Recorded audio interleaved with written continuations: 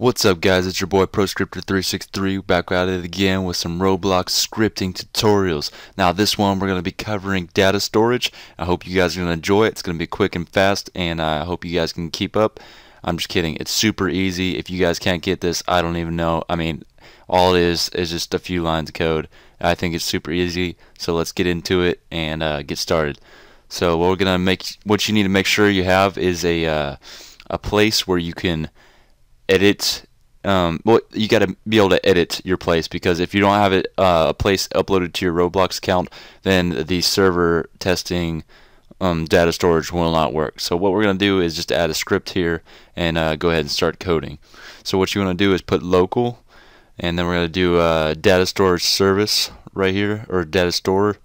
And uh, what it's going to do is go ahead and get the data storage for the Roblox data store and um, it's kind of it's kind of like a connection to the database. Well, it is a connection to the database. So uh, the database connects you. Well, you connect to the database, and uh, you can um, upload your values. You can get your values out of the database, and you can also um, update it at the same time as you uh, change it. Yeah, you can update it at the same time as you change it. So uh, what we're going to do is add a player added function which is every time a player joins the game, it's going to call this. So we're just going to go ahead and put the listener down here. Uh, basically, what the top says, that uh, basically it, all it is is a connection to your uh, your data storage. So we're just going to finish off this connection here. Okay, connect it to player added. Delete these brackets. Alright, so what we're going to do is we're going to go ahead and make the another local variable that is going to be called uh, leader stats, which is going to actually show you. Uh, it's actually going to show um, exactly how much cash you have um, when you start off the game, and that's just kind of how it's going to have to work. So the string value is the leader stats value what I'm making right now. So we're just going to keep making this.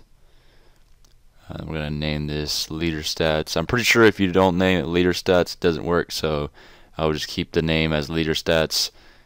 That's going to show up in your player's UI or GUI. So call it leader stats. Close it off. Next thing we're going to call is a uh, cash, which uh, we're going to be storing cash in this tutorial.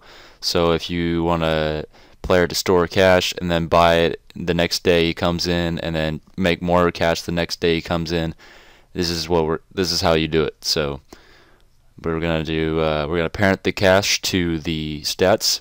So oh I forgot to change that to capital P. So we're gonna uh, go ahead and parent that uh, cash to the parent of stats. Sorry we're gonna parent the cash to stats. Yeah. So uh, we're gonna name it cash you can actually name it whatever you want.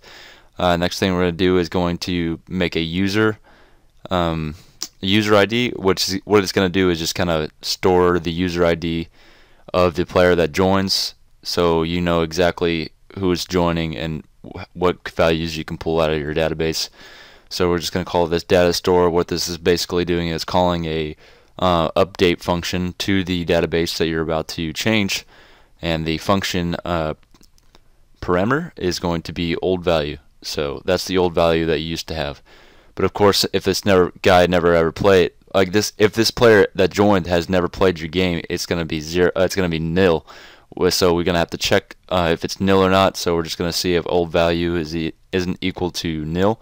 That's what that if statement is right there. And uh, if it isn't, then we're just going to go ahead and add the value here. So the new value is equal to new the new value plus 50. There we go. Alright, so uh, then after that, we're just going to exit out of that if statement, and we're going to make sure that we return the final value, which is the new value that we just created uh, from the old value. So the old value was either 0 or nil, and if not, it would be 0, and if so, it would take uh, whatever it was before, and then uh, change that to what, like 100. If it was 100, then it would be 150. If it was 150, it would be 200. And that's pretty much it. So on the last bit part, uh, last part right here, it was a uh, cash stop value is uh, your cash value is equal to data store async is just getting the it's just that's just getting the value that you just stored. So I oh I actually got an error here. It's a infinite string near quotation marks. Oh, I had some kind of little deal right there. All right, uh, got another error. Expected near function name. Let's see here. Uh, line 14. Okay, so we got. Oh, I put a uh, dot and user. Okay. Let's see. Uh, I need to change that to a comma.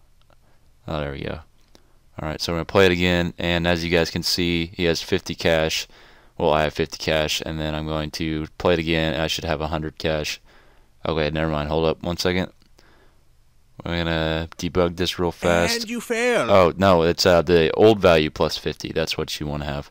So uh, the new value is equal to old value plus 50, and now you should go. Okay, so now I have 100 cash, and then once I play it again, I should have 150. There we go. Alright, uh, thank you guys so much for watching. If you liked this video, please subscribe. Put a like down below if you liked it, and comment down below if you have any questions. Peace out, guys.